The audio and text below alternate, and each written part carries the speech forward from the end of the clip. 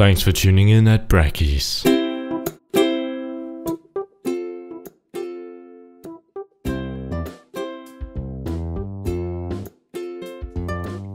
think that was uh, basically the hardest part of uh, wrapping your head around this. So what we're going to do here is we're going to create a coroutine. So we're going to write start coroutine and we're going to call a function in here that we're going to write in just a sec. And this function is going to be called update path. Because we want to sometimes update our path. Let's say that our uh, player moves we want our enemies to update their path depending on the place we've moved to. But what we don't want to do is do this every single time we draw a frame. Because that will just, oh, that was just unnecessarily clutter the CPU and it's going to be really annoying because we're going to have all these enemies constantly drawing paths and it's really not necessary. No one will notice if we only do this, let's say, twice every second. So what we can do with this is we can create a uh, coroutine uh, or an IEnumerator function that will update every, uh, uh, let's say, two times a second. Uh, it's simply going to create a new path for us. So we're going to create a new IEnumerator. IEnumerator why is this not showing up? Am I doing something wrong? We're going to call this update path. Uh, it's not going to take any arguments. And inside of this here, why is IEnumerator, IEnumerator not working? Oh, is this part of systems.collections? Using system dot collections? It probably is. Yes, it is. Okay, so we needed the system.collections namespace. I'm sorry, I was wrong. now let's continue. Um, so under the update path function, we can check if our target is equal to zero or null. Uh, because if it is, we don't want to update our path. It's just going to result in an error and it's going to be really ugly. Again, here is where we might want to do some kind of searching. So insert a player search here. By the way, if you create a to-do mark like this, actually write out to-do with capital and then a colon, um, MonoDevelop will know and you can actually go through all of your to-do uh, points. So if I go under view, I believe, um, tasks or shift T, you can see that all of my to-do uh, marks are right here in our current project and you can simply navigate to them. So that's pretty cool. A to-do list is sometimes better, but it, it's, it works. Now we can simply return and uh, we just want to return nothing, but because this is an IEnumerator, we have to type in some kind of bool value and we'll simply type in false. That's going to work just fine. Uh, then what we can do down here, uh, now we know we have a target and we know we want to update the path. We can uh, start a new path. So um, we can say seeker dot start path and we can basically do all the same as we did up here. So I'm simply going to copy that down there.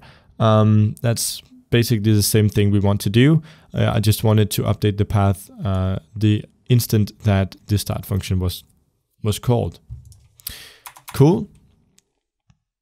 Actually, what I want to do, I know I keep on regretting everything I do here, but uh, I think we'll just delete this and we'll handle it in the coroutine. No. Yes? No. We'll make sure to do it up here because I, I, I don't know how quickly this coroutine will be called and it might be called after the fixed update which might result in an error. We'll keep things real and, and just start the path up here. Then what we can do is we can uh, uh, wait for a certain amount of seconds. So yield, return, new, wait four seconds. And we're going to put in the update delay or update rate. Uh, and we're going to, of course, say 1 divided by update rate. Like this. So as the more we increase our update rate, the uh, smaller the wait time is going to be. End that off with a semicolon, and then we can simply uh, call this function again. So it's just going to loop. So we are going to say start coroutine, update path with no argument. So it's just going to basically call itself uh, every so and so seconds. That's awesome. Uh, we actually have quite a bit of our code done now. We only need one more function. It is the largest function that we have left, but uh, it's now that we're going to actually see some moving. So let's collapse our start, let's collapse our update path and our on path complete. Uh, if you haven't uh, turned collapsing off, uh, I recommend you do it in the mono develop settings. It makes writing code much more uh, organized and, and simpler to, to view the, the code. And uh, then we're going to create a void. And we're going to call this fixed update. And this is important that you call it exactly fixed update. and fixed update is quite like update, but instead of um, updating for every frame drawn, it has this fixed update rate, as the name suggests, uh, that is awesome for doing physics calculations. So if you want to move something using physics, do it inside of fixed update, not update. Every time. Cool. Um, so I, I think my point came across there, and we are, of course, again, going to check if our target is equal to null. I think at this point we can just copy the check from up here. There. Uh, and then we are going to uh, maybe insert some kind of lookat function here. So uh, another to do in here where we can write um, always look at player. This is something that you want some enemies to do. Probably not this one because we've construct I've constructed him uh, this way to kind of always be floating um, with at this angle. But some enemies like maybe missiles, you probably want to point towards the player. So that's something we're going to put in in a later video. Great. Uh, what we can then do is check if our path is equal to null. Because if we don't have a path, we basically just want to return here. We don't have anything to move after. Then we can check if our current waypoint is greater than or equal to path dot vector path dot count. Just right after me for now. Then if our path is ended we're going to return because there's no reason to chase a path that has ended.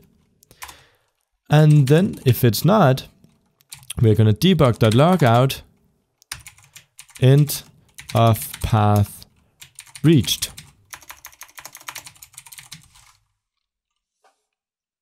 period, semicolon. And we're then going to set our path ascended equal to true. And uh, then we're going to return. So what we're doing here is we're basically saying that if we've reached our final um, uh, uh, waypoint, these returns uh, the path.vector path returns the all of the waypoints as an array. Uh, and we are simply checking if we uh, the current waypoint that we are at is uh, bigger than or equal to the uh, total amounts of uh, uh, waypoints in that list, or array, I should say. And if it is, it means that we've reached the end. So if the path has already been set to have ended, we're going to simply return. And if it hasn't, we're going to debug out that we have reached our end and then set path ascended to true and then return. Cool. Uh, and then what we can do is we can uh, down here set path is whoops path is ended equal to false. So uh, if we don't get this code block, we're simply going to set that path is ended is uh, equals false. Now we want to check uh, the direction to the next waypoint uh, because we're going to need some kind of direction in order to move our rigid body. Uh, also, I'm going to select the current time. Okay, uh, yeah, so moving along quickly. Um, so we want to find the direction to our next waypoint. And the way we do this, uh, first off, let's make a comment. Direction to the next waypoint Very nice. Then we're gonna do vector three dir. This is gonna store our uh, direction. Then we input our path dot vector path. Remember, this is the list of waypoints. We input the index of our current waypoint to get the way waypoint that we are currently chasing. We are then going to subtract our transform dot position. This is going to give us the direction. So if you have one position, which is this is going to return us, this is going to return us the position of our uh, the waypoint we're currently chasing, and we subtract that our current position, we are going to get a direction. That's super awesome when working with vectors and and these uh, tuplet uh, or is it triplet tuplet? Oh, I don't remember this. Uh, but working with these three three-dimensional numbers, um, if you subtract the two, you're going to get the direction between the two. And what we can do with this is we can wrap this in a parentheses, and then we can say dot normalized to get the normalized vector, meaning that the vector that this will result in has a total length of 1. That's pretty mathematical. If, if you don't know much about vectors, um, please just write it out, out as I've done here. I don't really have time to go in uh, to all of the math behind this, but uh, just know that this is an awesome way to get the direction from one place to another. Then we can simply uh, multiply our direction with our speed. And uh, we're going to finally multiply that with our time dot fixed delta time. There. And uh, then a semicolon. Cool. Uh, and uh, notice that this is fixed delta time, not delta time, because we're doing it in the fixed update function. So that will give us a speed that is a second bound or, or time bound, not bound to the uh, uh, update steps in fixed update. Cool. What we want to do now is actually move the AI because now we have a direction. We made sure that our path is correct and we have a target and we update the target and everything. Now we simply have to move in the correct direction. And this is ridiculously simple. You're probably going to laugh because this is the simplest of all, even though you should think that this would actually be kind of hard. So this is where we move the AI.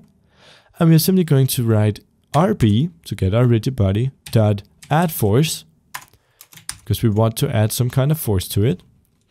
And then we're going to give it the direction, which is steer, and the force mode, which we selected uh, in the beginning, simply called F mode, semicolon. Now our rigid body will move in the direction of the next waypoint. And uh, then down here, uh, what we want to do, and this is the simple uh, uh, last thing we are going to do, is simply uh, check if we are close enough to uh, the next uh, waypoint, and if we are, we want to proceed to follow uh, the next waypoint.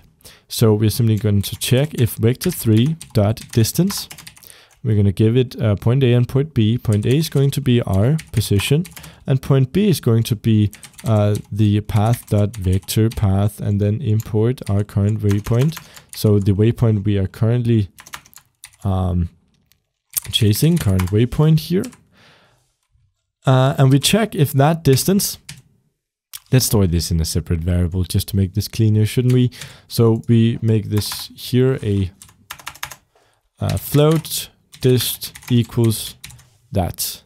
And then we simply check if dist is less than uh, and then we give it our next waypoint distance that we defined.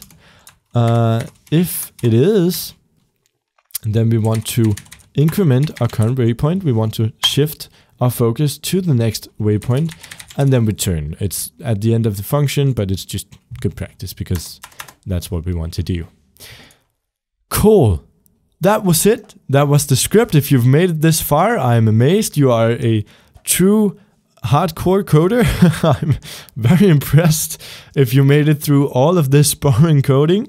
And uh, I hope that you will enjoy the end result as much as I will. And let's hit save on this. Let's hit back into Unity. Let's hope we don't get any errors. We do, but that's okay. We can fi quickly fix these. A return keyword must be followed by any expression. Yes. So in here, uh, we are in the fixed update. So simply delete the false there. That's only needed inside of the I enumerator, not in a void. We don't want to return anything there. And uh, that cleared up the errors. Now let's select our alien spaceship. Make sure our enemy AI script is added in here. Make sure we add our player as the target because we don't have any target searching uh, yet. The update rate is going to be fine at 2. The speed, I think I'm going to leave that at 300. Set the force mode to force at, in the beginning. And the next waypoint distance, let's just try it at 3. Now when we hit play, hopefully, it's going to search for a player and try to hit him. So now we have AI. You will, however, notice a couple of things. First off, he is kind of drunk in his steering. Uh, he's not too accurate. That's a very easy fix, no coding required. And also right now he just moved through the ob obstacles. So we want to do two things here. First off, you can change the mass in order to make him less drunk, sort of say. Um, but what we want to do instead is bump up what is called the linear drag. And this will make sure that his position is not as floaty. Um, it's awesome for missiles to have a low linear drag, but this guy actually knows what he's doing. So maybe a linear drag of 2 is better. Then I'm going to bump up the speed to about 600 and um, I'm also going to put him at a fixed angle. So if he bumps into something, he's not going to rotate. Again, that's not something you want with a missile. That's fine that it rotates. But um, with this, we want a fixed angle. And then under add component, what we can do is simply add in a collider. So physics 2D, and I'm going to give him a circle collider, which we can just adjust. Ah, it actually looks pretty good. And what we can do now is simply hit play and enjoy the end result. You can see him chasing us there. Whoops. Didn't mean to fall down. So you can see him chasing us and uh, he will do so correctly. If uh, you have gizmos turned on here and uh, if we uh, uncollapse the seeker script, you can actually see him drawing a path to us. So you can see how accurately this system actually works Respawn. and just how nice it is that it doesn't update every single frame. It updates more than plenty frequently as is right now. So I'm going to set the speed a bit higher. I'm, i think I'm going to go all the way up to a thousand. Yeah, that's that's a bit nicer. And now we actually have a cool moving enemy in our game. So that was basically it for this part of the enemy AI um, course or uh, tutorial, I should say. Excuse me. So I hope you enjoyed this and uh, congratulations for making it this far. I know AI, uh, AI can be uh, hard to wrap your head around in the beginning, but if you made it to this point, you're pretty uh, good to go. So I uh, think that in uh, the next following videos, we are probably going to expand on this to maybe make some shooting enemies, maybe make them take damage, um, maybe make them rotate towards the player. There's plenty of stuff to do. So, but this was the absolute core. And uh, yeah, thanks for watching and I'll see you in the next video.